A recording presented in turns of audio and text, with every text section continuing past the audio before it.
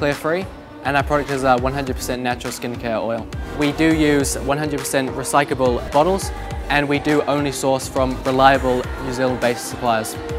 We have had successes such as featuring on 7 Sharp and we've continued to push our business further and further.